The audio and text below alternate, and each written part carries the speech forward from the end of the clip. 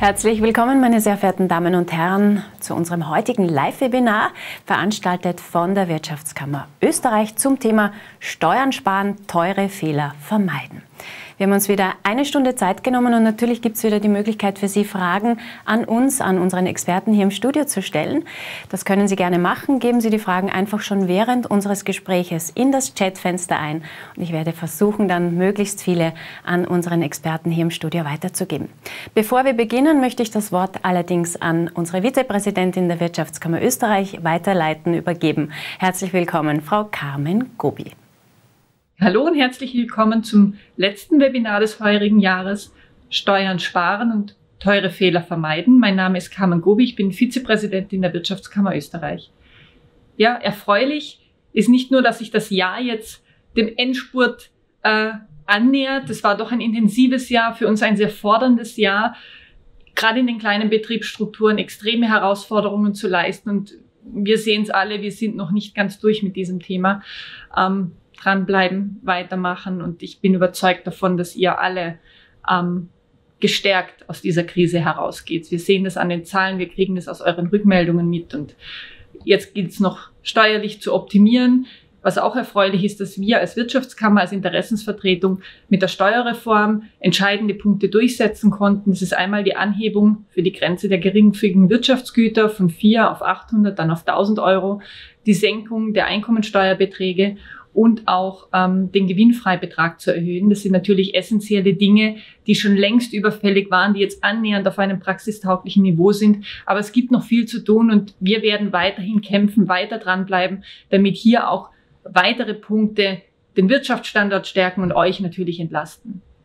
Aber für jetzt wünsche ich euch ein tolles Webinar, viele praxisnahe und auch sparende Tipps, ja, dass ihr wirklich was für euch im Betrieb behalten könnt, mit dem ihr wieder investieren könnt, mit dem die nächsten Schritte möglich sind. Ein gutes Ausklingen des heurigen Jahres, noch ein, zwei gute, große Projekte, die schöne Umsätze bringen.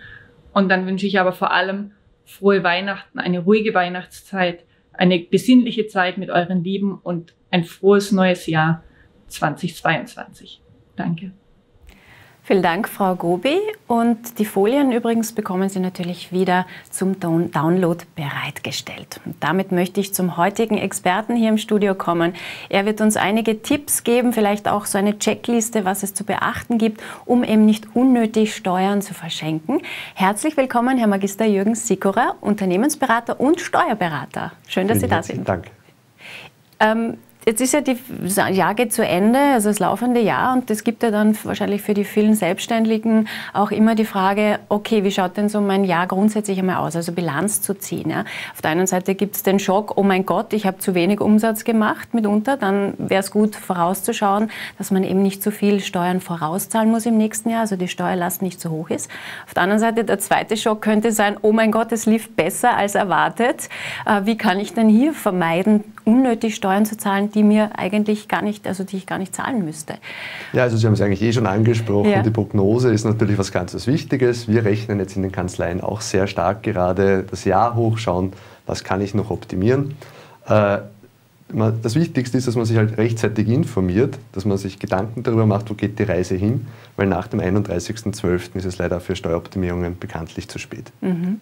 Welche Tipps Sie da mitgebracht haben, auch, dass man wirklich gewisse Dinge nicht vergessen sollte, das werden wir heute in dieser circa halben Stunde äh, mit unserem Gespräch hoffentlich abklären können. Für Fragen stehen Sie natürlich auch sehr gerne zur Verfügung. Jetzt in Ihrer Praxis, was ist denn so das, was Ihnen am häufigsten auffällt? Welche Fehler machen denn Selbstständige? Also vieles passiert wirklich aus Nichtwissen, nicht rechtzeitig informiert. Man äh, startet mal einfach, hat eh sehr viel zu tun, muss viel organisieren und denkt sich, ich mache halt Step by Step meine Optimierungen im Betrieb und lässt das Steuerrechtliche dann halt leider oft links liegen. Das kann dann in manchen Fällen gut gehen, in vielen Fällen geht es dann aber auch leider schief. Mhm.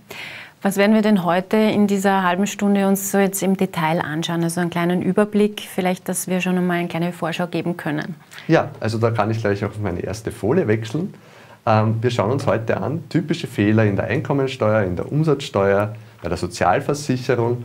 Und dann machen wir eine kleine Unterbrechung, äh, für die Fragen und dann gibt es am Schluss auch noch einen kleinen Ausblick in die Zukunft. Was bringt die Steuerreform 2022? Mhm.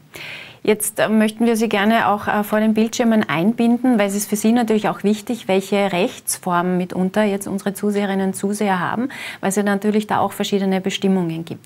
Deshalb gerne jetzt äh, auch schon die Tastatur bereithalten. Wir wollen nämlich hier im Studio eine Frage stellen, eine Publikumsfrage.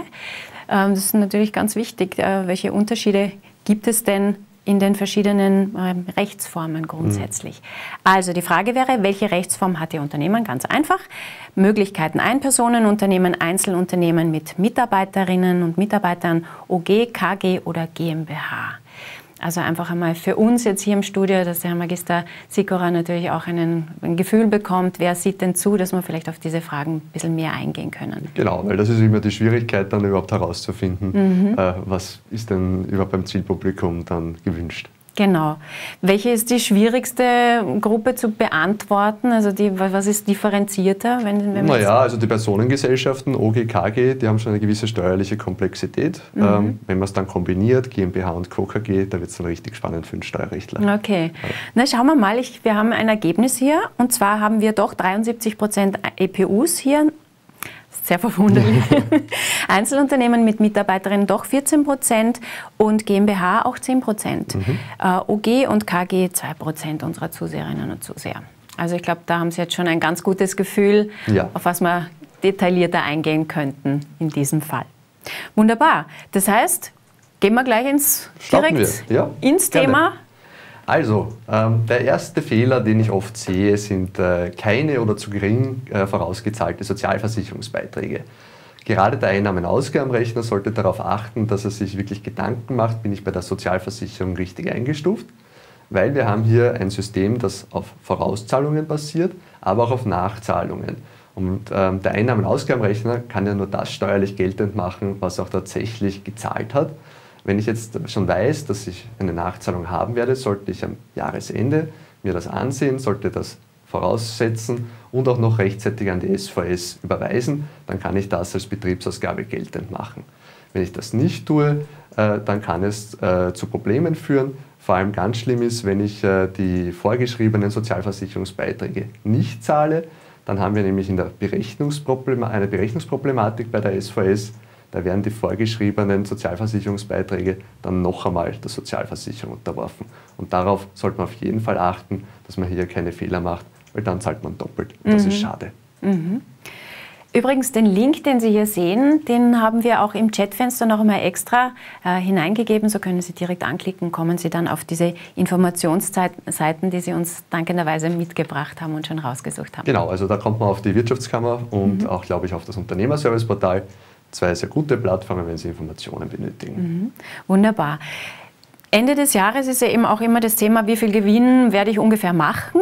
Äh, Gewinnfreibeträge, ein Riesenthema. Wie gehe ich denn damit um, beziehungsweise was ist denn das überhaupt? Ja, äh, der Gewinnfreibetrag, das ist eine steuerliche Begünstigung, die ich nutzen kann. Die gute Nachricht ist, bis 30.000 Euro Gewinn brauche ich nichts tun. Kann mich eigentlich äh, gemütlich zurücklehnen und bekomme 13 Prozent von meinem Gewinn steuerfrei als Ausgabe.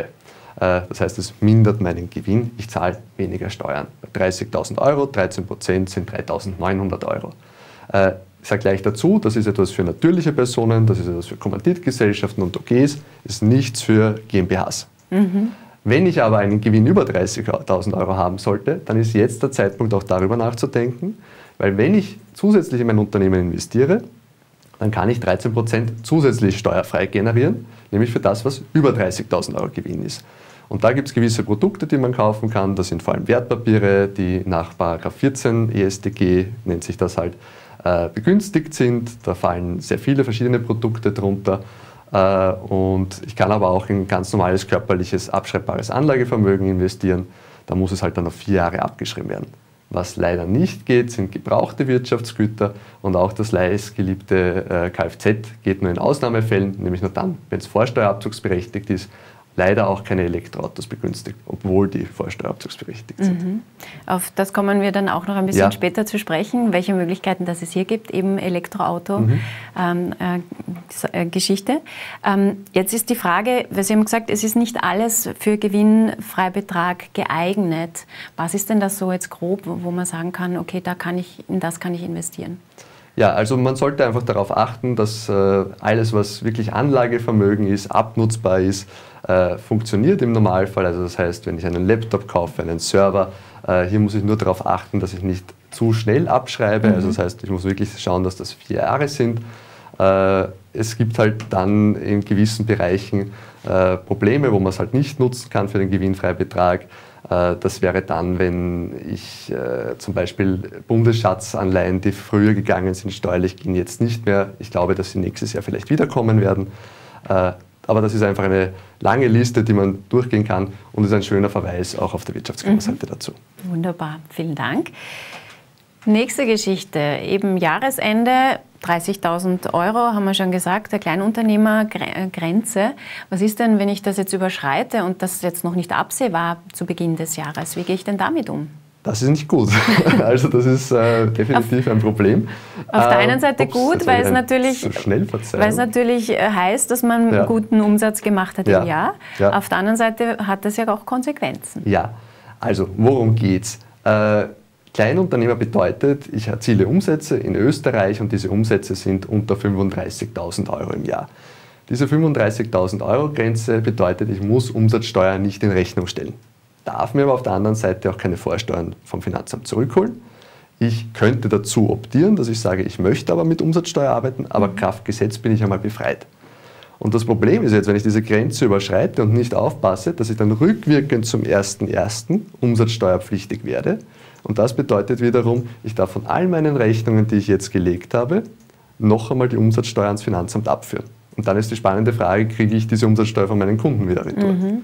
Äh, wenn jetzt meine Kunden private sind, dann kann ich das vergessen, weil die werden sagen, wie komme ich jetzt dazu? Mhm. Bei Unternehmen habe ich vielleicht Glück, die sagen, ja, okay, ich akzeptiere eine Rechnungskorrektur, aber oftmals ist es ja auch leider so, dass man seine Kunden gar nicht kennt äh, und dann auch gar nicht weiß, wen sollte ich denn überhaupt kontaktieren. Also bitte da großes Augen auf, äh, Augenmerk drauf werfen, dass man rechtzeitig äh, erkennt, okay, jetzt ist Schluss, mehr kann ich einfach heuer nicht äh, kassieren. Eine Anmerkung noch dazu, einmal in fünf Jahren darf ich diese Grenze um 15 Prozent überschreiten, das ist okay. Und es handelt sich hier auch um eine äh, Nettogrenze, das heißt ein Kleinunternehmer darf eigentlich 42.000 Euro einnehmen und darf dann fiktiv die 20% Umsatzsteuer rausrechnen, dann sind die 35.000 mhm. nämlich wieder erfüllt. Mhm. Was ist, wenn ich jetzt zum Beispiel in diesen fünf Jahren einmal über diese Grenze drüber komme? Wie muss ich dann einen Antrag stellen oder wie, wie gehe ich damit um? Gott sei Dank muss man keinen Antrag mhm. stellen. Also das ist, äh, wird von Amts wegen äh, festgestellt. Die Finanzverwaltung sieht das über die Jahresumsatzsteuererklärung, wie viel mhm. hoch der Umsatz war. Also da ist dann nichts zu tun und man kann sich da eigentlich auch darauf verlassen, dass das äh, vom Amt durchgeführt wird. Okay, also wenn ich das das erste Mal habe, dass ich wirklich über die Grenze komme, unerwarteterweise, dann ist es jetzt noch nicht so äh, so dringend, da irgendwie zu handeln? Ja, also ich verrate auch oft nicht, dass die 35.000 eigentlich 42.000 Euro sind, okay. damit wir einfach 7.000 Euro Puffer haben. Okay. Äh, aber äh, ja, es ist gut, äh, dass man sich da Gedanken drüber macht. Was auch viel passieren kann, nächstes Thema, Dankeschön jetzt mal für, für, diesen, ja, für, die, für diesen Input auch, dass man das wirklich im Auge behält. Ähm, ganz viele Probleme entstehen mitunter auch, dass man die Rechnungslegung nicht so wirklich im Griff hat. Das heißt, was muss ich denn da einhalten, wenn wir zu dem Thema kommen, Rechnungsmerkmale? Mhm. Wann ist denn eine Rechnung gültig und wann sagt die Finanz, hm, das können wir nicht so akzeptieren? Ja, also leider leben wir in Österreich, aber nicht nur in Österreich, in der gesamten Europäischen Union, was den Vorsteuerabzug anbelangt, also das Geld, das ich mir aus einer Rechnung vom Finanzamt zurückholen kann, in einer sehr reglementierten Welt. Das heißt, wir haben hier Formalkriterien, die eine Rechnung zu erfüllen hat, damit auch der Vorsteuerabzug äh, gewährleistet ist. Das hat Gott sei Dank der Europäische Gerichtshof schon gesagt, naja, ganz so streng darf man das nicht sehen. Aber das heißt nicht, dass hier ein Wildwuchs bei den Rechnungen entstehen soll. Und was ich sehr oft sehe, ist zum Beispiel, eine Rechnung sollte ein Rechnungsdatum haben und eine Rechnung sollte aber auch ein Liefer- oder Leistungsdatum haben. Eine Lieferung kann immer nur ein Tag sein, weil eine Ware wird übergeben und an dem Tag hat die Übergabe stattgefunden. Bei einer Leistung, also einer Dienstleistung, kann das natürlich auch ein längerer Zeitraum sein. Das wird oft vergessen. Was auch oft vergessen wird, ist, dass ich meine Artikel, die ich verkaufe, konkret zu bezeichnen habe. Das heißt, dass ich das auch ausschreibe, Mengengerüst und Preisgerüst habe, dass ich die Nettobeträge anführe von den einzelnen Positionen, dann die Gesamtsumme ziehe, die Umsatzsteuer darauf äh, vermerke. Und was ich auch immer wieder erlebe, ist, dass äh, die Unternehmen darauf vergessen, wenn sie bei großen Online-Händlern bestellen, äh, ihre eigene UID-Nummer bekannt zu geben. Mhm. Äh, das ist nämlich dann besonders problematisch, weil dann erkennt ja der Lieferant nicht, dass sie ein Unternehmer sind, liefert daher nicht steuerfrei an sie, sondern er liefert mit einer österreichischen oder deutschen Umsatzsteuer zum Beispiel äh, und die führt dann eigentlich gar nicht zum Vorsteuerabzug. Also es ist ein absolutes No-Go äh, im Onlinehandel, die UID-Nummer nicht bekannt mhm. zu geben für das Unternehmen. Und das zweite No-Go vielleicht an dieser Stelle noch ist, bitte nicht die UID-Nummer für private Einkäufe verwenden, weil das sehe ich auch immer wieder. Da denken sich dann die Leute, klasse, ich kaufe um 20% billiger ein. Ähm, ja, das ist aber dafür nicht gedacht und das wäre dann Missbrauch. Okay, gut, also schon mal ein wichtiger Hinweis, gerade mit der UID-Nummer, gerade wo jetzt im Moment viel über Online abgewickelt wird.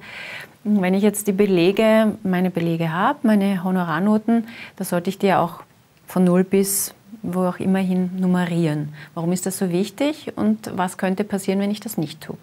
Äh, hier muss man darauf achten, dass ist wahrscheinlich das Allerwichtigste, was man äh, zu beachten hat, dass man wirklich fortlaufend eine Rechnungsnummer vergibt. Und eine fortlaufende Rechnungsnummer ist halt ein aufbauendes System. Ich muss jetzt nicht jedes Jahr mit 1 beginnen, ich kann da auch eine Fantasiezahl nehmen, ich kann mit 2000 anfangen äh, und baue dann aber immer 1 auf. Ich kann auch verschiedene Rechnungskreise eröffnen, also ich kann einen haben für meine Rechnungskunden mit A und für die die Bar zahlen B. Äh, und, aber es muss fortlaufend sein, weil die Finanz möchte halt aufgrund der fortlaufenden Rechnungsnummer kontrollieren, ob das Rechnungswesen vollständig ist.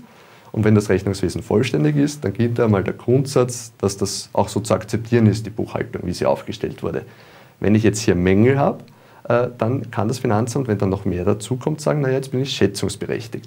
Und das Problem an einer Schätzung ist halt, dass man hier mit Ungewissheiten arbeitet. Und Ungewissheiten bedeutet, es gibt auch Sicherheitszuschläge. Das soll jetzt keine Strafe sein, sondern soll halt dann einfach nur plausibilisieren, dass diese Schätzung auch zu einem richtigen Ergebnis führt. Und das kann dann teuer werden, nur weil ich vergessen habe, meine Rechnungen nicht zu nummerieren. Mhm. Und daher hier bitte großes Augenmerk darauf legen, weil ansonsten am Ende des Tages hier äh, viel Geld liegen bleiben kann. Mhm. Jetzt geht es ja darum, als Unternehmer natürlich äh, Steuern zu sparen mhm. auf der einen Seite, also nicht zu viel zu zahlen, was nicht notwendig wäre. Also es ist, ja gut, dass wir Steuern zahlen, weil das ist ja, hat ja auch einen Hintergrund und einen Sinn. Aber welche Möglichkeiten gibt es, und da kommen Sie als Steuerberater wahrscheinlich erst recht ins Spiel, mit den Abschreibungen, degressive Abschreibung jetzt zum Beispiel, auch ein, ein Schlagwort. Wie, wie, kann ich denn als Unternehmer oder als EPU zum Beispiel damit umgehen, beziehungsweise wann brauche ich sie und was ist denn das überhaupt? Ja, also da kommen wir jetzt zu den echten Steuerspartipps. Mhm. Das am Anfang war jetzt ein bisschen nur so aufpassen, aufpassen, aufpassen. jetzt tun wir auch wirklich Geld sparen. Äh, hier äh, vielleicht der erste Tipp. Seit der Veranlagung 2020 gibt es für Neuinvestitionen auch eine schnellere Abschreibungsmöglichkeit. Was bedeutet Abschreibung? Sie kaufen einen Vermögensgegenstand, der nutzt Ihren Unternehmen mehr als ein Jahr und der kostet mehr als 800 Euro netto. Wenn ich Kleinunternehmer bin, dann 800 Euro brutto. Und ich darf jetzt steuerlich nicht die, ach, äh, die nehmen ein Beispiel, kostet 900 Euro der Laptop, ich darf den jetzt nicht in meiner Einnahmen-Ausgabenrechnung sofort mit 900 Euro gewinnmindert ansetzen. Den muss ich auf mehrere Jahre verteilen. Und das machen wir in Österreich linear. Das heißt, mhm.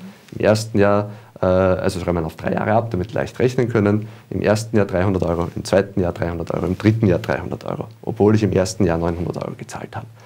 Und jetzt die degressive Abschreibung macht was anderes. Die sagt, nein, wir dürfen äh, hier sehr aggressiv abschreiben. Wir dürfen 30 Prozent im ersten Jahr abschreiben. Wobei, dafür ist mein Beispiel gerade, fällt mir auf, ad absurdum. Äh, wir müssten das mit einem längeren äh, Zeitraum machen, vielleicht so wie es auf der Folie ist. Wir sehen da äh, eine lineare Abschreibung, äh, lineare Abschreibung auf 10 Jahre, also jedes Jahr 10.000 Euro. Äh, und jetzt nutzt der gleiche Unternehmer aber die degressive Abschreibung, dann hätte er im ersten Jahr nicht 10.000, sondern 30.000 Euro Abschreibung, im zweiten Jahr 21.000 Euro Abschreibung, dann im dritten Jahr 14.700 und so geht es halt weiter. Also immer vom Restbuchwert nimmt man die 30 Prozent. Bis halt nichts mehr da ist, dann ist der Gegenstand äh, komplett abgeschrieben. Man kann dadurch nicht wirklich auf die gesamte Nutzungsdauer Steuern sparen, aber man kann natürlich Ausgaben vorziehen. Ich kann jetzt meinen Gewinn mindern äh, und habe dann halt später niedrigere Abschreibungen. Wer bestimmt die Laufzeit dieser Abschreibungen? Gibt es da auch irgendwelche Vorschriften, Regeln, an die man sich halten muss? Also es gibt gesetzliche Vorschriften, äh, die sind aber sehr eingeschränkt. Also wir haben das beim Pkw, der ist auf acht Jahre abzuschreiben. Mhm. Wir haben das bei einem Firmenwert, äh, bei Wirtschaftskammermitgliedern sind es 15 Jahre, die abzuschreiben sind. Wir haben das bei Gebäuden zur betrieblichen Nutzung auf 40 Jahre. Äh, wir haben es bei Wohngebäuden äh, mit 67 Jahren, äh, die die Abschreibungsdauer dauert.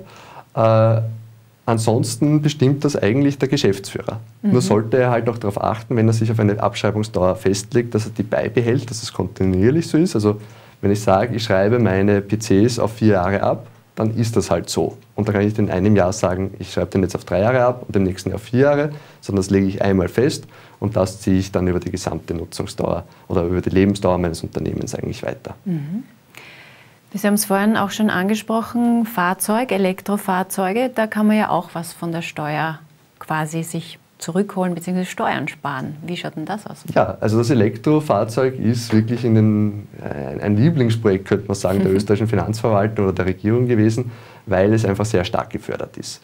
Wenn wir uns das anschauen, dann haben wir mal als erstes Goodie, dass wir einen Vorsteuerabzug generieren können. Normalerweise können Sie bei einem normalen Pkw sich keine Vorsteuern einfach so vom Finanzamt zurückholen. Beim Elektrofahrzeug geht das schon. Bis maximal 40.000 Euro brutto können Sie sich den vollen Vorsteuerabzug holen. Dann zwischen 40.000 und 80.000 Euro wird eingeschliffen. Das heißt, da funktioniert es zwar nicht mehr so gut, aber ich kriege trotzdem noch anteilig meinen Vorsteuerabzug. Ach, ab 80.000 Euro leider äh, kein Vorsteuerabzug möglich. Das heißt, man hat hier einfach mit berücksichtigt, dass es halt Luxusfahrzeuge gibt, die man dann steuerlich nicht fördern möchte. Ein weiteres tolles Gute ist die E-Mobilitätsförderung mit bis zu 4.000 Euro bei einem Bruttolistenpreis unter 60.000 Euro. Die vorhin auf der Folie erwähnte degressive Abschreibung geht übrigens auch beim Elektrofahrzeug. Mhm. Sie haben beim Elektrofahrzeug auch keine Normverbrauchsabgabe. Das ist diese Importabgabe, wenn man ein Fahrzeug das erste Mal nach Österreich äh, holt und zum Verkehr zulässt. Das kann recht teuer werden, weil aber Elektrofahrzeuge keinen CO2-Ausstoß haben, äh, ist auch keine Nova drauf. Bei äh, Plug-in-Hybrid und Co. hätten wir trotzdem eine Nova drauf, aber eine sehr niedrige. Also von all dem, was ich hier sage, geht es immer um Fahrzeuge ohne CO2-Ausstoß. Ganz toll, und da bitte auch diejenigen, die eine GmbH haben, gut zuhören. Äh, ich muss keinen Sachbezug für meine Mitarbeiter und für meine GmbH-Geschäftsführer ansetzen. Normalerweise, wenn ich ein Fahrzeug in meiner GmbH habe oder in einem anderen Unternehmen und einen Mitarbeiter äh, zur Verfügung stelle, dann ist dieser private Nutzen, den ich aus der ganzen Sache habe, zu bewerten und auch zu versteuern. Äh, das haben wir beim Elektrofahrzeug nicht und das kann sehr viel Geld sparen. Was auch ein Vorteil vom Elektrofahrzeug ist, ist, dass wir keine motorbezogene Versicherungssteuer drauf haben. Also auch hier ist, sind die laufenden Kosten äh, niedriger und es zeigt sich tendenziell auch geringere Erwartungskosten, zumindest am Anfang äh, der Lebensdauer eines mhm. Elektrofahrzeuges. Vielen Dank. Also macht Sinn, sich darüber Gedanken zu machen. Definitiv. Mhm. Nicht nur der Umwelt zuliebe, ja. sondern auch für das eigene Börserl. Vielen Dank. Äh, Kleinunternehmerpauschalierung prüfen. Das ist nächste für den, von der nächsten Folie die Überschrift. Was ist denn damit gemeint, beziehungsweise was würden Sie uns da nahelegen wollen? Ja, also da geht es äh, um das Thema, wie ermittle äh, ich meinen Gewinn? Wie kann ich meine Steuerlast wirklich äh, senken? Wie kann ich das so handhaben, dass ich nicht zu viel Steuern zahle? Äh, das ist eine Neuerung, die gibt es seit 2020.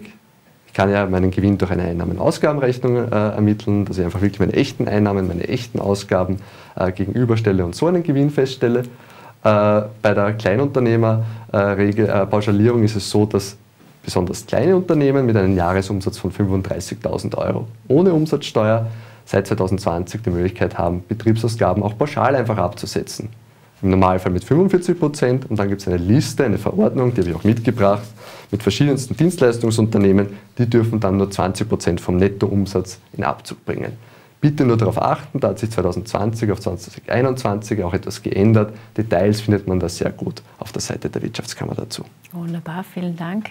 Herr Magister Sikora, ich habe gerade gehört, wir haben schon ganz viele Fragen, mhm. aber wir kommen eh gleich dazu. Zwei Themen wollen wir uns natürlich noch anschauen. Ich habe da auch schon an den Fragen gesehen, dass da eine in diese Richtung geht. Aber wenn man jetzt, Sie haben es vorher gesagt, auch mit äh, im Internet privat UID-Nummer einkaufen, nicht vermischen mit beruflichem ja. und privatem. Wie schaut es denn da mit Privateinlagen aus? Wie gehe ich denn damit um? Ja, also ganz viele Unternehmerinnen und Unternehmen äh, besitzen ja schon Vermögensgegenstände. Also das heißt, man hat meistens vor Gründung schon ein Handy, man hat vielleicht auch schon ein Auto, einen Laptop, vielleicht auch schon Möbelstücke. Äh, das ist schade, wenn man das nicht steuerlich geltend macht, weil das sieht der Gesetzgeber vor. Durch eine ganz einfache Buchung in Ihrer Buchhaltung können Sie die privat genutzten Gegenstände in Ihren Betrieb einlegen. Und wie mache ich das? Ich schreibe eine Liste mit dem Zeitwert, den der Vermögensgegenstand jetzt als gebrauchter Gegenstand hat und lege das in mein Unternehmen ein. Und dann kann ich das ohne einen Cent auszugeben, weil ich habe das Geld ja schon ausgegeben privat, äh, von meiner Steuer absetzen. Und das ist etwas, was man auf gar keinen Fall äh, verschenken sollte. Bitte machen Sie daraus auch keine Doktorarbeit, das heißt, schreiben Sie einfach eine Liste, wo halt eine genaue Bezeichnung von dem Gegenstand ist und dann schätzen Sie es ungefähr hin, was der Gebrauchswert ist. Wenn nicht, wenn man sich unwohl fühlt, dann schaut mal auf Vergleichsportale. Mhm. Wunderbar. Gibt es da auch irgendwelche Grenzen von der Höhe her, was man privat als Einlage in die Firma mit reinnehmen darf? Oder geht es genauso auch wieder mit den Abschreibungen auf die Jahre? Also wenn es betrieblich genutzt wird, dann ja. geht das genauso und da gelten die gleichen Bestimmungen. Okay, wunderbar, vielen Dank. Jetzt steht ja Weihnachten schon bald vor der Tür. Also es klingelt schon so immer wieder. Wie schaut es denn da mit Weihnachtsgeschenken aus? Wie gehe ich denn damit um? Ja, die Weihnachtsgeschenke, das ist auch im Steuerrecht immer so etwas, was jedes Jahr für, große, äh, für ein großes Frageaufkommen sorgt. Äh, Weihnachtsgeschenke an Arbeitnehmer, an Dienstnehmerinnen sind bis zu 186 Euro jährlich lohn- und sozialversicherungsfrei. Man sollte nur darauf achten, dass wenn man, man darf nicht Geld schenken, das sollten halt irgendwelche Gutscheine sein, die nicht in Bar ablösbar sind oder ansonsten halt klassische Geschenke, äh, da habe ich keine Einschränkungen. Äh, für die Weihnachtsfeier, hoffentlich kann man heuer mhm. feiern, sind bis zu 365 Euro pro Arbeitnehmerin äh, lohn- und sozialversicherungsfrei. Äh, da fallen aber eigentlich alle Feiern, die ich in dem Jahr gemacht habe, drunter. Mhm. Und dann gibt es noch die, eine, die dritte Kategorie, das sind die Weihnachtsgeschenke an die Kunden und an die Geschäftspartner. Und da kommt dann immer das große Aha-Erlebnis. Die sind nämlich steuerlich eigentlich gar nicht absetzbar. Okay. Die sind nämlich nur dann absetzbar, wenn sie Werbewirkung entfalten. Das heißt, ich sollte darauf achten, dass die gebrandet sind, dass ich, wenn ich eine Weinflasche verschenke, vielleicht ein Etikett von mir auch draufklebe. Äh, also nicht ein Etikett, das jetzt das Winzer-Etikett überklebt, sondern halt ein, ein, ein, Sticker, der halt auch für mich Werbewirkung entfaltet. Ein Vorsteuerabzug ist auch nur sehr eingeschränkt möglich, nämlich bis zu einem Warenwert von 40 Euro. Mhm, okay, also das kann man natürlich nutzen und sollte man aber auch aufpassen, dass man da dann nicht zu sehr vermischt, beziehungsweise zu viel Privates oder Geschenke ja. diese, diese Grenzen über, überschreitet. Ja, das ist auch so etwas, wo die Finanzverwaltung genau mhm. genau hinschaut. Ja, gut. Kennen wir doch schon auch ja. aus den Medien immer wieder. Vielen Dank, Herr Magister Sikora, mal für diese wirklich ähm, knackigen ähm, Informationen. Ganz gut, mal sich da zu informieren. Auch hier sehen wir bei den Weihnachtsgeschenken einen Link, den Sie uns mitgebracht haben. Also falls das wirklich Thema ist, kann man dann noch einmal in die Tiefe gehen über diesen Link, der im Chatfenster für Sie bereitsteht. Und damit komme ich auch schon zu unserem Chatfenster. Wir haben schon ganz, ganz viele Fragen mhm. hereinbekommen. Die wollen wir natürlich jetzt äh, gerne übernehmen und äh, beantworten, so gut es geht. Vielleicht bevor wir in die Fragen unserer Zuseherinnen und Zuseher kommen oder zu den Fragen kommen, Covid-Hilfen, auch noch eine Steuerthematik. Wie weit kann ich denn Covid-Hilfen auch steuerlich berücksichtigen in meiner Bilanz, in meiner Buchhaltung? Also wir haben zwei Kategorien an Covid-Hilfen. Wir haben die steuerfreien Covid-Hilfen und die steuerpflichtigen Covid-Hilfen. Härtefallfonds steuerfrei. Äh, Fixkostenzuschuss steuerfrei, muss aber darauf achten, dass er Betriebsausgaben unter Umständen kürzt. Äh, Kurzarbeit genauso äh, äh kürzt meinen Personalaufwand. Beim Ausfallsbonus und beim Lockdown-Umsatzersatz, da muss ich aufpassen, das sind Umsatz, äh, nicht Umsatz, einkommensteuerpflichtige äh, Covid-Hilfen gewesen. Das heißt, die habe ich auch als Einnahme zu erfassen.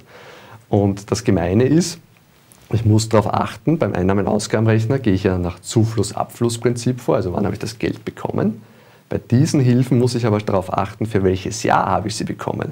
Und wenn Sie jetzt den Lockdown-Umsatzersatz November 2020 bekommen haben, im Jahr 2021, dann könnte man in Versuchung geraten und das 2021 in die Steuererklärung geben gehört aber bitte ins Jahr 2020. Mhm. Okay, das muss man beachten. Mhm. Gut, vielen Dank. Ich würde einfach sagen, wir gehen die Fragen von oben nach Gerne. unten durch. Ähm, nämlich interessant, da ist schon eine gekommen, eine Minute, also noch in unserer Intro. Wir haben, glaube ich, die Frage schon beantwortet, aber lassen Sie uns einmal ganz einfach äh, beginnen, nämlich zum Thema Weihnachtsgeschenke. Ja? Kann man Kunden als also Weihnachtsgeschenk Wertgutscheine von Geschäften schenken und welcher Betrag ist pro Kunde erlaubt? Das haben wir gerade an der Folie gesehen, aber vielleicht noch einmal zur Ergänzung und zur Erinnerung. Also Wertgutscheine für Kunden können sie immer schenken, sie dürfen es dann halt nicht von der Steuer absetzen. Das ist halt das Problem, das sie haben. Mhm. Äh, Wertgutscheine für Mitarbeiterinnen und Mitarbeiter, das funktioniert mit diesen 186 Euro pro Jahr pro Mitarbeiter begrenzt. Mhm. Vielen Dank. Zum Thema Kleinunternehmerregelung, dieser Herausfall, da geht es um die Frage, wann muss ich denn diese Meldung abgeben? Juni nächstes Jahr oder früher? Also wo sind denn da die Fristen? Also man sollte eigentlich äh, äh, in dem Moment, wo man äh, entdeckt, dass man es überschreitet, mhm. äh, sofort melden, weil man ja eigentlich schon umsatzsteuerpflichtig ist. Mhm. Und das ist ja leider rückwirkend. Daher muss ich sowieso alles in Gang setzen in dem Moment, wo ich merke, das geht sich nicht mehr aus. Äh, bei den Leuten, wo ich weiß, das könnte knapp werden, rate ich immer schon von Anfang an mit Umsatzsteuer zu arbeiten. Ich finde es auch als psychologisches Element nicht so gut, äh, wenn es eh schon knapp ist, die Kleinunternehmergrenze beizubehalten, weil ich mich natürlich in meinem unternehmerischen Handeln sehr limitiere. Mhm. Dann beginnen die Leute mit Versuchen, das ins nächste Jahr zu ziehen. Äh, und eigentlich ist ja unternehmerisches Handeln davon geprägt, dass man versucht, möglichst äh, zu wachsen. Mhm. Okay, wunderbar. Wie ist Ihre Meinung zum Bauherrenmodell? Bauherrenmodelle äh, können attraktiv sein, äh, nur kommt es darauf an, äh, dass man auch wirklich sich von Experten beraten lässt. Das Problem beim Bauherrenmodell ist mittlerweile, dass sehr viele Bauherrenmodelle äh, der Vergangenheit dann doch nicht aufgegangen sind, die äh, Investoren dann nicht diesen Verlustausgleich nutzen konnten, weil um den geht es letztendlich. Also das heißt, ich investiere in eine Immobilie, die saniert werden muss und kann da beschleunigt abschreiben. Normalerweise schreibe ich ein Gebäude auf 40 oder 67 Jahre ab. Hier kann ich auf 15 Jahre abschreiben und da entstehen Anfangsverluste. Und wenn ich diese Anfangsverluste gegenverrechnen kann mit anderen Einnahmen, kann das steuerlich positive Effekte haben, weil ich weniger Steuern zahle. Aber die guten Modelle äh, sind mittlerweile sehr äh, begrenzt. Vor allem funktionieren die richtig guten Bauherrenmodelle nur noch mit Förderungen der öffentlichen Hand. Mhm. Da muss man im richtigen Bundesland investieren. Okay, vielen Dank für den Tipp. Ähm, genau, eine Frage zum Thema, warum zahlt man doppelt, wenn man die SVS-Beiträge nicht vorauszahlt? Vielleicht da noch also, eine Erklärung dazu. Ja, gerne. Ich habe jetzt nicht davon gesprochen, was man vorauszahlt, sondern das, was vorgeschrieben wurde. Sie erhalten am Jahresanfang von der SVS eine Vorschreibung äh, und diese Vorschreibung beinhaltet eine Vorschau, was Sie das ganze Jahr viermal zu leisten haben. Äh, wenn Sie jetzt diese Beiträge nicht einzahlen macht und sich auch bei der SVS nicht melden, dann passiert Folgendes. Es kommt der Einkommensteuerbescheid, in dem steht beim Einnahmen-Ausgabenrechner jetzt ein Gewinn von 40.000 Euro drin und die SVS geht aber davon aus, dass in diesen 40.000 Euro ja auch sie selber drinnen steckt als Betriebsausgabe. Mhm. Daher addiert sie das Vorgeschriebene noch einmal dazu und von dem bemisst sie die endgültige Beitragsgrundlage. Und wenn ich jetzt das, was mir vorgeschrieben wurde, nicht leiste, habe ich einfach automatisch einen Rechenfehler im System. Mhm. Die Frage ist aber natürlich auch schon dahingehend, ich zahle jetzt nicht äh, zu viel, sondern es wird dann nachberechnet und dann habe ich mitunter ein Guthaben, wenn es ich zahle so wäre. im ersten Jahr zu viel, ja. dann, wenn ich einen Beitrag dann nachzahle, mhm. dann ist es wieder saniert das Ganze. Aber in einem ersten Schritt zahle ich definitiv zu viel. Mhm. Und ich habe sehr viele Insolvenzen schon erlebt, die deswegen entstanden sind, weil man halt eine zu hohe Beitragsvorschreibung nicht rechtzeitig herabgesetzt hat und dann auf einmal nicht das Kapital hatte, um das zu bedienen. Mhm. Gut, vielen Dank. Zum Thema Gewinnfreibetrag. Die Frage wäre, der Gewinnfreibetrag betrifft dann aber nur Unternehmen, die nicht der Kleinunternehmerregelung und, äh, unterlegen sind, oder? Sehr gute Frage. Ähm, bei der Kleinunternehmer, also wir müssen unterscheiden, wir haben ja heute zweimal Kleinunternehmer gehört. Ja. Kleinunternehmer im Sinne des Umsatzsteuerrechts, die haben genauso die Möglichkeit, den Gewinnfreibetrag zu nutzen.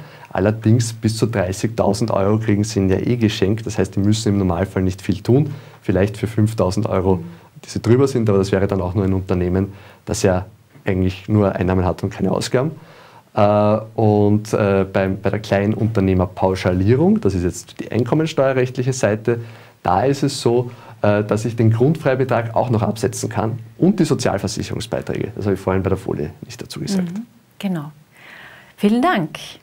Laptop-PC, das Thema. Unter 800 Euro ist äh, Gewinnfreibetrag oder nicht? Also das wenn ich ein geringwertiges Wirtschaftsgut aktiviere und freiwillig auf vier Jahre abschreibe, dann geht das auch. Okay, ja. also 800 Euro ja. ist momentan die Grenze, ja, oder? Wie, ja, werden wir dann sehen. Genau. Wunderbar, vielen Dank. Gebrauchte Produkte können nicht als Investment gekauft werden? Fragezeichen. Secondhand, Kopiergeräte, PCs und so weiter. Wie geht es denn damit?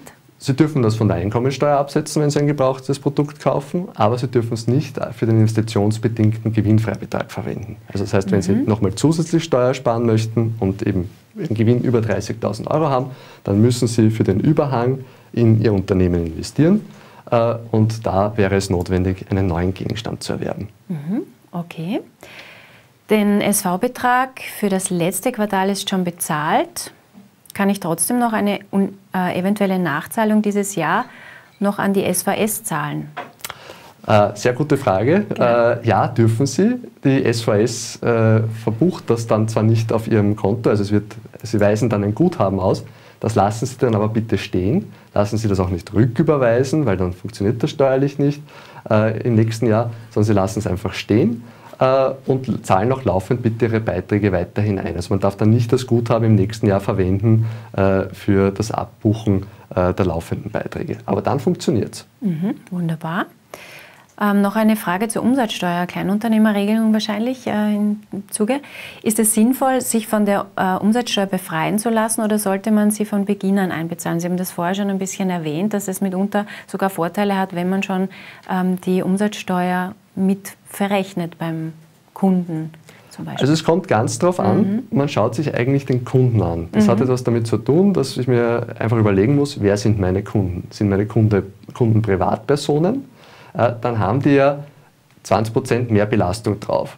Und wenn der bereit ist, 50 Euro zu zahlen, äh, dann ist dem egal, ob da Umsatzsteuer drinnen steckt oder nicht drinnen steckt. Wenn Sie mhm. jetzt 20% dazu rechnen und Sie verrechnen jetzt 60 Euro, könnte er vielleicht sagen, ist mir zu teuer. Das heißt, bei Privaten äh, ist es nicht schlecht, äh, ich nehme jetzt her als Beispiele äh, Kosmetiker, Kosmetikerinnen, Friseure, äh, da kann es ein Thema sein, weil ich einfach eine höhere Marge habe, wenn ich ohne Umsatzsteuer arbeite. Bei all jenen, die an andere Unternehmer leisten, da ist es eigentlich gut, äh, mit Umsatzsteuer von Anfang an zu arbeiten, weil der andere hat kein Problem damit. Für den ist es ein Durchlaufposten, der holt sich das Geld wieder vom Finanzamt. Mhm. Und vielleicht noch ein abschließender Gedanke dazu.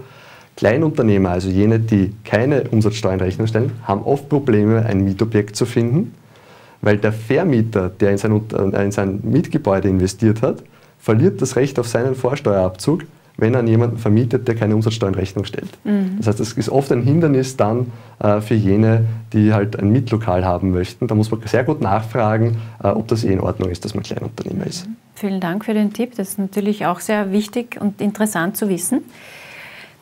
Wie wird aufgeteilt, wenn man zum Teil umsatzsteuerbefreite Einnahmen hat? Ich gehe mal davon aus, dass das eben auch über europäische ähm, OED-Nummern und so in, in, diese Richtung geht? Also ich glaube, was da gemeint ist, dass man äh, verschiedenste Einnahmen hat. Also das mhm. heißt, nehmen wir jetzt zum Beispiel her äh, die Ärztin, die steuerbefreit ist, Kraftgesetz, mhm. und zusätzlich eine Vermietung hat. Mhm. Die hat dann, äh, darf man da diese Einkünfte rausschälen. Also das heißt, die Ärzte, die, die, die Einnahmen aus der Ordination spielen dann nicht mit bei der Ermittlung der Grenze der Kleinunternehmerregelung. Da gibt es ganz, ganz viele verschiedene äh, Befreiungen. Äh, Details dazu würde ich aber Ihnen empfehlen. Schauen Sie auf den Link, den ich Ihnen reingepostet habe. Da ist das ganz gut aufgesplittet. Ansonsten können Sie mir auch gerne dann im Anschluss eine, zu Ihrer Frage eine Mail schicken und ich schaue mir das im Detail an. Mhm, vielen Dank. Das sind noch während unseres Gesprächs äh, anscheinend ein bisschen Unstimmigkeiten gewesen zur Frage, nämlich mit den 42.000 Euro. Sie haben es zwar schon erklärt, ja. aber vielleicht können wir das noch einmal ähm, mit reinnehmen. Das heißt, auch wenn ich brutto und netto Kleinunternehmer bin, kann ich bis zu 42.000 Euro Umsatz machen. Das kommt nämlich von drei verschiedenen Personen, diese Frage. Wenn Sie einen 20-prozentigen Umsatzsteuersatz im Normalfall in Rechnung stellen müssten, ja. Wie können Sie das verproben? Geben Sie einen in einen Taschenrechner, 35.000 Euro, mal 1,2, also damit Sie 120 Prozent haben, das wäre 42.000. Im Umkehrschluss, wenn ich 42.000 Euro vereinnahmt habe und ans Finanzamt die Differenz abführen müsste, also die Umsatzsteuer, dann würde ich wieder bei netto 35.000 Euro landen. Und deswegen ist es wirklich so, Sie dürfen als Kleinunternehmer 42.000 Euro vereinnahmen. Mhm, vielen Dank. Wenn das Lieferdatum bei einer Dienstleistung über längeren Zeitraum anzugeben ist, was ist da genau zu beachten? Äh, das kommt auf die Dienstleistung an, aber an und für sich steht in den Umsatzsteuerrichtlinien auch darin, dass der leistende Unternehmer es in der Hand hat, sein Leistungsdatum zu bestimmen. Das heißt, wenn ich jetzt als Steuerberater zum Beispiel im Jänner mit einem Jahresabschluss beginne und der zieht sich aber, weil es halt viele komplexe Fragen gibt, bis in den August, dann ist mein Leistungsdatum wirklich Jänner bis August. Und erst dann ist die Leistung fertig und wird dann den Kunden übergeben. Und da ist dann halt binnen eines Monats die Rechnung zu stellen. Mhm, vielen Dank. Auch eine interessante Frage betrifft wahrscheinlich viele. Was ist äh, mit Online-Händlern, die die UID-Nummer nicht hinterlegen und trotzdem Nachfrage, äh, trotz Nachfrage nur eine Rechnung mit Steuer ausstellen? Ja, da ist halt dann immer die Frage, wie können Sie überhaupt feststellen, ob jetzt diese ausgewiesene Umsatzsteuer eine falsche Umsatzsteuer ist. Gerade beim Onlinehandel wissen Sie ja nicht, wo denn das Lager des Händlers sich befindet. Also wenn Sie jetzt bei, ich sage jetzt einfach mal Amazon bestellen und dort äh, bei einem österreichischen Lager, aus einem österreichischen Lager die Ware bekommen, passiert ja nichts, weil ich habe keinen Grenzübertritt gehabt und damit mhm. äh, bin ich auch vorsteuerabzugsberechtigt. Schlimm ist es, wenn die Ware im, im EU-Ausland liegt, weil dann äh, erkennt er das nicht, wendet äh, daher äh, eine ganz andere Regelung im Umsatzsteuerrecht an und stellt ihn unter Umständen äh, nämlich die heimische, für ihn heimische äh, Umsatzsteuernrechnung. Das heißt, sie haben dann deutsche Umsatzsteuer drauf, äh, und würden dann hier die deutsche Umsatzsteuer auch bezahlen, kriegen die aber vom österreichischen Staat nicht retour. Und in Deutschland kriegen sie es auch nicht retour, weil wenn die den Fall dann prüfen, sagen die einfach, sie haben ja eine OET-Nummer, hätten sie bekannt geben müssen. Also das heißt, man verliert wirklich, man muss letztendlich den Lieferanten dazu zwingen, die Rechnung zu ändern. Und da hat man auch einen Rechtsanspruch drauf. Okay, gut zu wissen. Auch eine Frage, die wahrscheinlich viele betreffen wird. Einzelunternehmer sind ja oft in verschiedenen Bereichen tätig. Wenn ich ein Einzelunternehmer mit zwei Gewerbeberechtigungen bin, wie sieht denn die fortlaufende Rechnungsnummer aus? Benötigt da dann zwingend immer zwei Rechnungskreise, obwohl es dasselbe Unternehmen ist? Oder kann ich das? Also gleich zu beantworten, Sie brauchen nicht zwei Rechnungskreise. Wenn es ein Betrieb ist mit zwei Gewerbescheinen, dann dürfen Sie alle Ihre Leistungen unter einem Rechnungskreis faktorieren. Mhm, vielen Dank. Klimaticket, nächste Frage. Wenn ich ein EPU bin, äh, kann ich das Klimaticket komplett absetzen? Äh, so wie bei allen Gegenständen äh, und auch Ausgaben muss ich mir anschauen, wie viel habe ich private Nutzung, wie viel habe ich betriebliche Nutzung. Und dann darf ich natürlich anhand eines Aufteilungsverhältnisses diese Kosten auch in Abzug bringen. Das ist eine Frage der Beweiswürdigung, äh, wie ich das halt nutze. Mhm. Wenn es da Aufzeichnungen gibt, dann freut sich der Steuerrechtler darüber. Im Normalfall wird es wahrscheinlich geschätzt werden und man wird halt einen Privatanteil ausscheiden. Mhm. Pauschalierungsmöglichkeiten, wie schaut es denn da aus? Gilt die Pauschalierungsmöglichkeit auch für Vermietung? Äh, für Vermietung und Verpachtung geht das leider nicht. Diese Kleinunternehmerpauschalierung ist im Vermietungsbereich nicht angedacht. Äh, Sie können das äh, dort leider nicht nutzen. Nein. Mhm. Es geht um die Privateinlagen. Ähm, die Frage wäre, brauche ich denn bei Privateinlagen, Laptop etc. noch die Quittungen? Nein, das ist das Schöne. Ich muss nur nachweisen können, dass es mein Gegenstand ist. Mhm. Äh, Im Zweifelsfall muss die Finanz halt dann nachschauen, ob es den auch tatsächlich gibt. Mhm. Aber Quittungen aufheben ist sowieso immer ganz gut, grundsätzlich. Also da rennen Sie bei mir offene Türen ein. äh, Belege sind äh, für einen Steuerberater, für eine Steuerberaterin was ganz was Wichtiges oder auch für Bilanzbuchhalter, weil es einfach äh, darum geht, dass man ja äh, keine Buchung ohne Beleg vornehmen darf. Mhm. Und wenn man jetzt einen Beleg verliert, dann sollte man zumindest einen Eigenbeleg haben. Mhm. Eigenbeleg ist nur immer das Problem, kein Vorsteuerabzug möglich. Mhm. Wie mache ich einen Eigenbeleg, um da vielleicht noch auch ja, darauf einzugehen? Also ein Eigenbeleg ist eigentlich nicht sonderlich kompliziert. Ich schreibe, versuche halt das auf, zu rekonstruieren, was halt der wahre Geschäftsvorfall war. Ich schreibe meinen Lieferanten drauf, ich schreibe mich als Empfänger drauf, ich schreibe das Lieferdatum drauf.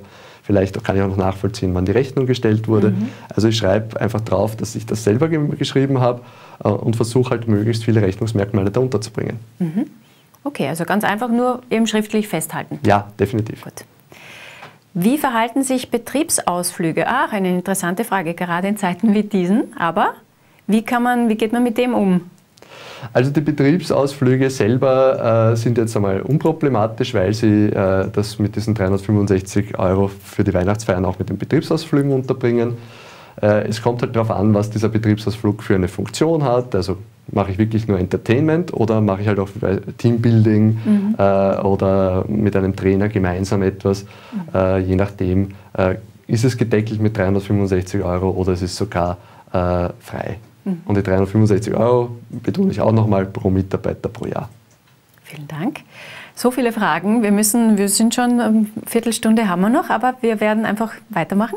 Was ist zu beachten, wenn ein Elektroauto auf acht Jahre degressiv abgeschrieben wird, aber nach zum Beispiel vier Jahren das Fahrzeug verkauft wird? Naja, da ist es eigentlich äh, sehr leicht zu beantworten. Sie stellen immer den Buchwert, das ist also der Wert nach der Abschreibung, dem Veräußerungserlös gegenüber und die Differenz ist halt äh, einkommensteuerpflichtig. Und wenn Sie ein Elektrofahrzeug mit Vorsteuerabzug äh, genutzt haben, dann verkaufen Sie das Fahrzeug auch mit Umsatzsteuer. Mhm. Einfache Antwort wahrscheinlich. Pro Geschenk sind es 40 Euro, ist das richtig? Also es geht um die... Äh, Kundengeschenke. genau. Ja, bei, bei Kundengeschenke bis zu einem Wert von 40 Euro ist ein Vorsteuerabzug möglich. Mhm.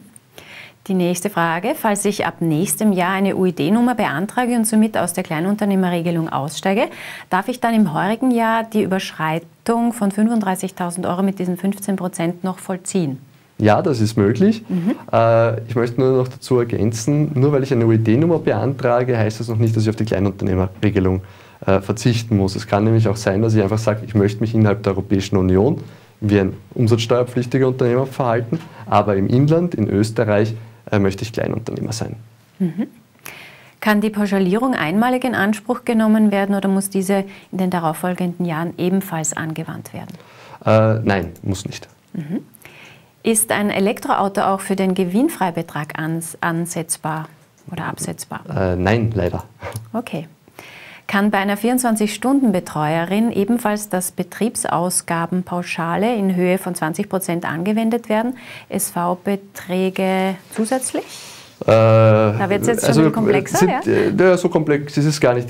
Wenn die Dame oder der Herr das äh, selbstständig ausübt, also kein Dienstverhältnis hat, mhm. dann äh, wäre das einmal, äh, glaube ich, denkbar. Ich muss nur schauen, es gibt nämlich auch gewisse Ausnahmen. Ich schaue es mir jetzt noch schnell in der den Text an, ob ich das auf die Schnelle finde.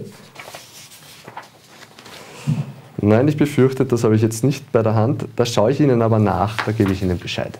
Wenn Sie so nett sind und mir einfach eine E-Mail dann schreiben, dann kriegen Sie heute noch eine Antwort. Vielen Dank. Ah, okay, da, da werden wir vielleicht dann, ich, ich lese die Frage trotzdem gerne vor, vielleicht wollen Sie es auch gerne vorgreifen, aber ähm, die sofortige Absetzbarkeit von 800 Euro bzw. 960 habe ich leider nicht kapiert, nicht verstanden. Ja, also geringwertige Wirtschaftsgüter, das sind äh, äh, äh Wirtschaftsgüter, die äh, 800 Euro äh, kosten, äh, die darf ich von der Steuer in einem Jahr sofort abziehen, in dem Jahr, in dem ich sie bezahlt habe. Alles, was teurer ist als diese 800 Euro, das muss ich auf mehrere Jahre verteilt absetzen. Wir reden da wirklich nur von Gegenständen, die nicht Handelsware sind, sondern die in Ihrem Unternehmen verbleiben, also die Sie in Ihrem Alltag nutzen. Da möchte man einfach äh, vermeiden, dass Sie immer vor Jahresende irgendwo was um 20.000, 30.000 Euro kaufen und damit Ihren Gewinn schön senken. Man sagt einfach, nein, solche Investitionen sind ja nicht für das heutige Jahr gedacht, sondern die sind ja auch für mehrere Jahre letztendlich angeschafft worden. Mhm. Vielen Dank. Ich habe zu einem äh, EPU zusätzlich ein, also zu meinem EPU zusätzlich Einnahmen aus der Vermietung einer Wohnung.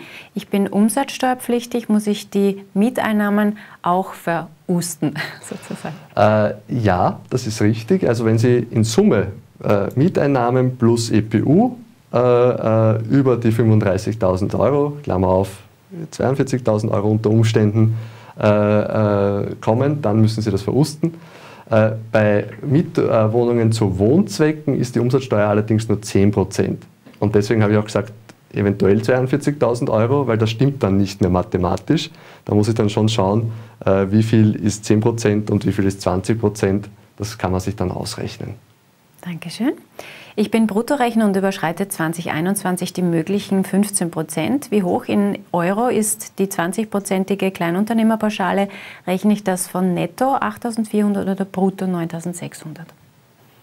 Äh, Nochmal bitte die Frage. Ich bin, ein Brutto, äh, ich bin ja. Bruttorechner und überschreite 2021 die möglichen 15 Prozent. Ja. Wie hoch in Euro ist die 20-prozentige Kleinunternehmerpauschale? Rechne ich das von den 8.000, also netto 8.400 oder brutto 9.600 Euro? Also Sie müssen aufpassen, wenn Sie über die, äh, äh, die Kleinunternehmergrenze kommen, dann funktioniert auch die Kleinunternehmerpauschale nicht mehr. Äh, mhm. Weil das äh, ist, da gab es eine Gesetzesänderung von 2020 auf 2021 2021 hat man gesagt, man schaltet das gleich mit der Kleinunternehmerbefreiung. Das heißt, all jene, die gedanklich in die Kleinunternehmerbefreiung fallen könnten, auch wenn sie freiwillig mit Umsatzsteuer arbeiten, die sind berechtigt, die Kleinunternehmerpauschalierung in der Einkommensteuer geltend zu machen. All jene, die drüber sind, haben hier keine Möglichkeit.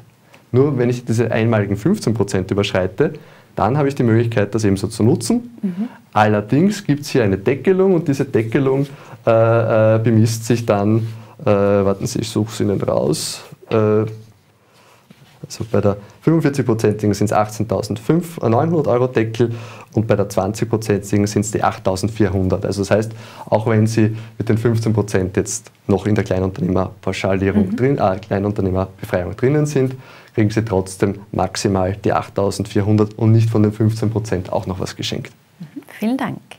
Handelsvertreterpauschale, kann ich hier jährlich switchen, zum Beispiel 2020 nutzen und 2021 nicht und 2022 wieder?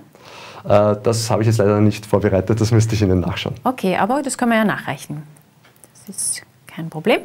Wenn eine PVA äh, privat angeschafft wird, aber ein Büro betrieblich in dem Haus genutzt wird, wie wird das steuerlich behandelt, also Photovoltaik? Äh, bei Photovoltaikanlagen muss man aufpassen, was ich denn für Photovoltaikanlage habe, ob ich Direkteinspeiser bin äh, mhm. oder ob ich äh, Eigennutzung habe. Äh, da ist es vor allem eine Liebhabereiprüfung, die ich vorzunehmen habe, ob es sich überhaupt um eine Einkunftsquelle handelt. Da gibt es aber einen sehr ausführlichen Erlass zu Photovoltaikanlagen. Äh, und äh, da würde ich wirklich auf den Erlass verweisen, weil das kommt da sehr aufs Detail an geht es nämlich auch darum, bin ich vorsteuerabzugsberechtigt oder nicht vorsteuerabzugsberechtigt. Ist das jetzt wirklich überhaupt ein Betriebsvermögen oder ist es kein Betriebsvermögen? Das muss man dann im Einzelfall prüfen. Mhm, vielen Dank. Äh, ich würde noch gerne eine Frage reinnehmen. Wir haben noch acht Minuten und wir haben noch ein bisschen was vorbereitet. Ja. Aber die Frage passt sehr gut als Überleitung. Ähm, und zwar sollte dieses Jahr noch ein größerer Lockdown kommen, bekommt man als Neuunternehmer Unterstützung, also Dienstleistungsunternehmen. Also es geht um ein Dienstleistungsunternehmen. Also, äh, wir wissen noch nicht, was es für Covid-Förderungen geben wird. Mhm. Äh, die Sozialpartner versuchen natürlich alles Mögliche in Gang zu setzen, dass hier wieder Hilfe für die Unternehmerinnen und Unternehmer kommen wird. Das Einzige, was jetzt noch läuft, ist eigentlich der Verlustersatz. Äh, den haben wir dann noch im November und Dezember. Äh, ansonsten sind eigentlich die Covid-Hilfen ausgelaufen. Mhm. Wir können sie zwar noch beantragen für vergangene Zeiträume, aber wir können sie jetzt nicht für diese neue mögliche Lockdown-Phase äh, nutzen. Mhm. Aber ich glaube, da wird hinter verschlossenen Türen gerade verhandelt. Aber mit Sicherheit. Genau, das weiß ich auch nicht. Ja, mit Sicherheit. Aber was Sie schon wissen, und da möchte ich jetzt gerne noch den Ausblick, den Sie uns versprochen haben, die Steuerreform 2022, möchte ich gerne äh, Sie bitten, da uns ein bisschen einen Einblick zu geben. Sehr gerne. Also wir wagen den Ausblick ins nächste Jahr. Zurzeit befinden wir uns noch in einem Begutachtungsentwurf. Das heißt, wir wissen nicht genau, ob das jetzt wirklich so kommen wird. Also wir haben jetzt noch ein paar Tage äh, und Wochen Zeit, um hier vielleicht Änderungen zu erleben. Aber was wird denn aller Voraussicht nach kommen? Wir werden eine Tarifsenkung bei der Einkommensteuer erleben.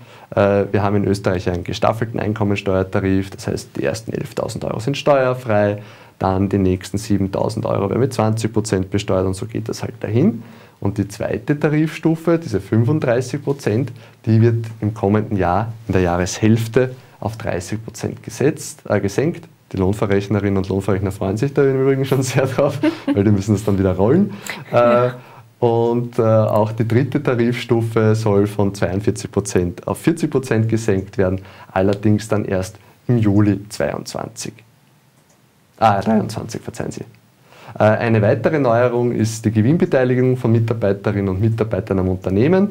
Äh, wenn jetzt, das ist eine Gewinnbeteiligung, ist wirklich keine Kapitalbeteiligung, das steht auf meiner Folie vielleicht auch ein bisschen verwirrend drauf. Also das, wenn das Unternehmen im Vorjahr Gewinne erzielt hat, dann kann es seinen Mitarbeitern eine Prämie, steuerfrei und sozialversicherungsfrei, auszahlen von 3000 Euro. Das ist ab 1.1.2022 dann hoffentlich möglich. Allerdings muss ich dann auch gewisse Gruppen bilden für meine Mitarbeiter. Ich kann nicht sagen, der Frau Müller gebe ich es und dem Herrn Mayer nicht, wenn die genau das Gleiche tun. Also ich muss Gruppen bilden, damit das dann auch funktioniert. Was sind noch so Themenbereiche? Wir haben eine Erhöhung des Familienbonuses, der auf uns zukommt. Der ist ja jetzt mit 1500 Euro pro Kind äh, bis zum 18. Lebensjahr, wird auf 2000 Euro erhöht.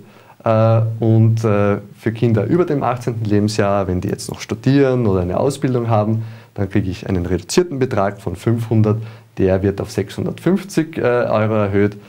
Und die Erhöhung soll auch mit der nächsten Jahreshälfte dann kommen, mit 1.7.22 ist das dann geplant. Und auch der Kindermehrbetrag wird von 250 auf 450 Euro pro Kind und Jahr bis 2023 schrittweise erhöht. Äh, ein ganz ein interessantes Thema, finde ich, ist auch der Bereich der Sonderausgaben. Die schlechte Nachricht ist ja bei den Sonderausgaben für Lebensversicherungen, Unfallversicherungen, also alles was personenbezogen ist, Wohnraumschaffung, Wohnraumsanierung, das geht letztmalig 2020, kann ich das von der Steuer absetzen. Mhm. Ab 21 geht das nicht mehr. Jetzt hat man gesagt, naja, für 22 wollen wir aber besonders energieschonende Maßnahmen, also Sanierungen, äh, fördern und da wird es das wieder geben, dass Ausgaben für thermische Sanierungen von Gebäuden und Ersatz fossiler Heizungssysteme durch klimafreundliche Heizungssysteme steuerlich begünstigt wird. Durch Sonderausgaben.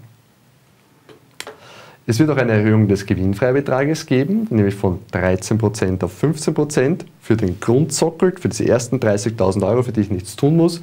Da wird es mehr Geld geben, also das heißt, man bekommt dann statt 3.900 Euro 4.500 Euro äh, äh, Ausgabe geschenkt. Allerdings muss man hier auch dazu sagen, leider gilt das nur wirklich für den Sockel. Danach ändert sich da eigentlich nichts. Mhm. Äh, was auch im, äh, in der Steuerreform zurzeit zu finden ist, ist ein Investitionsfreibetrag. Das ist dann was losgelöstes vom Gewinnfreibetrag. Da muss ich mich auch entscheiden, was nutze ich von den beiden. Äh, da kann ich dann bis zu 10 Prozent, äh, maximal 15 Prozent nochmal zusätzlich steuerfrei generieren. Äh, da muss man sich dann aber wirklich die Details noch anschauen, wie das mhm. kommen wird. Was wir auch haben, das ist ein sehr heiß diskutiertes und ziemlich gewünschtes Thema, immer ist dieses Abschreiben von Wirtschaftsgütern auf einmal. Mhm. Äh, diese Grenze wurde ja von, von, ursprünglich von 400 Euro auf 800 Euro schon mal erhöht. Jetzt wird sie auf 1000 Euro dann erhöht ab nächsten Jahr. Da ist das Handy dann schon in einem Jahr abzuschreiben, wenn es ein teureres da geht es dann schon raus. ja, dann haben wir noch ein Spezialthema äh, im Bereich der Kryptowährungen, also Bitcoin und Co. Äh, hier ist es ja so gewesen, dass wenn Sie privat Kryptowährungen besitzen und die kaufen und länger als ein Jahr halten, Sie die im Normalfall ohne einer Steuerbelastung verkaufen konnten. Jetzt hat das Bundesministerium für Finanzen reagiert und hat gesagt, naja, so sehen wir das in Zukunft dann nicht mehr.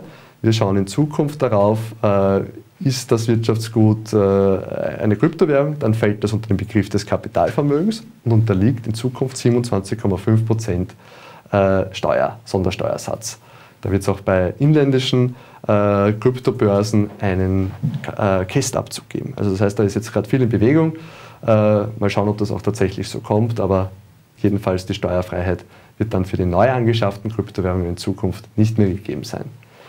Dann noch für die GmbH-Besitzer unter Ihnen hier auch noch einmal äh, vielleicht ein Hinweis. Die äh, Körperschaftssteuer soll von derzeit 25 Prozent in zwei Schritten auf 24 Prozent beziehungsweise dann 23 Prozent gesenkt werden. So steht es jetzt im Gesetzes, also im, im Begutachtungsentwurf.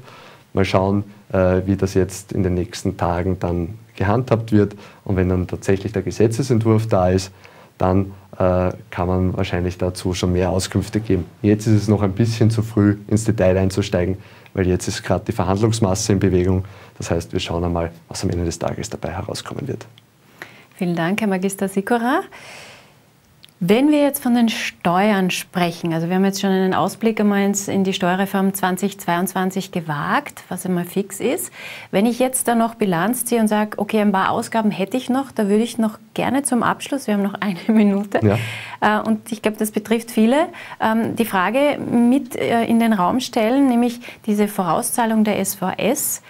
22, äh, ähm, ob das auch möglich ist. Und vor allem die Frage ist immer, wie viel darf ich denn vorauszahlen? Also, dass es sinnvoll ist, wenn man noch zu viel Gewinn hat und sagt, man möchte es gern mindern, macht es Sinn, was vorauszuzahlen. Aber wie viel darf denn das sein? Also, Sie dürfen nicht äh, die SVS von 2022 vorauszahlen, sondern Sie dürfen nur die Nachzahlung mhm. 21 vorauszahlen. Und die haben Sie genau zu schätzen. Mhm. Das heißt, Fantasiebeträge da einzusetzen und einfach mal 20.000 Euro lustig an die SVS zu überweisen, funktioniert nicht, mhm. äh, sondern Sie müssen sich tatsächlich anschauen, ich mache eine Prognoserechnung, wie viel werde ich noch Einnahmen und Ausgaben bis Jahresende haben und rechne mir dann äh, meine potenzielle Nachzahlung aus. Dass das natürlich Schwankungsbreiten hat, ist klar, aber man sollte da schon eine, zumindest den Rechengang belegen können, warum man diese Vorauszahlung für die Nachzahlung geleistet hat. Mhm. Vielleicht noch kurz ein Wort zu den äh, Vorauszahlungen. Sie können natürlich andere Sachen vorauszahlen. Sie können zum Beispiel, wenn der Vermieter nichts dagegen hat, die Miete fürs heurige und fürs kommende Jahr vorauszahlen. Das geht. Sowas kann man von der Steuer absetzen. Mhm. Guter Tipp, vielen Dank. Dankeschön, Herr Magister Sikora, dass Sie heute da waren. Wirklich ganz viele tolle Informationen, die man beachten kann, muss, sollte auch, damit man eben nicht unnötig Geld verschenkt an die Steuer. Es sind noch ganz viele Fragen gekommen, aber wir sehen uns nächste Woche wieder, nämlich am Donnerstag um 19 Uhr. Da haben Sie noch einmal die Möglichkeit, mit dabei zu sein, beziehungsweise vielleicht werden hier auch noch einige Fragen mitbehandelt, die wir jetzt im Zuge dieser einen Stunde nicht beantworten haben können. Einen Tipp noch zum Abschluss, ein Schlusswort an unsere Zuseherinnen und Zuseher von Ihnen. Ja, handeln Sie noch rechtzeitig. Bitte vor dem 31.12. versuchen, alles zu optimieren weil am 32.12. geht leider gar nichts mehr und den gibt es auch gar nicht. Vielen Dank für Ihren Besuch. Ihnen vielen Dank wieder für die rege Teilnahme, für die vielen Fragen. Und wie gesagt, nächste Woche am Donnerstag, 24. sehen wir uns, wenn Sie möchten, um 19 Uhr gerne wieder. Und natürlich sonst im nächsten Jahr. Bis dahin eine gute Zeit und bleiben Sie gesund.